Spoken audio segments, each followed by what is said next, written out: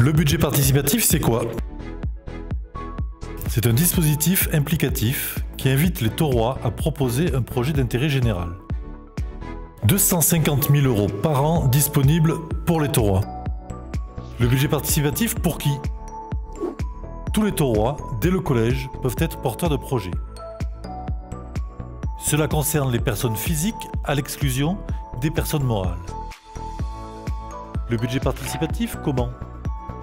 Les formulaires des projets sont à remplir sur le site www.budgetparticipatif-letor.fr ou à déposer à l'hôtel de ville. Quels sont les critères d'éligibilité? Le projet doit relever des compétences de la commune.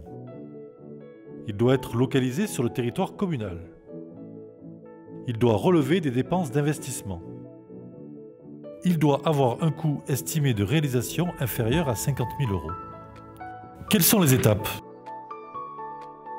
Jusqu'au 30 avril, appel à projet. Ensuite, jusqu'à fin juillet, étude des projets, éligibilité et recevabilité. En septembre, les porteurs de projets présenteront leurs différents projets au taurois. Et en octobre, vote des taurois et proclamation des projets élus. Alors, si vous avez des idées, des volontés, des attentes, lancez-vous.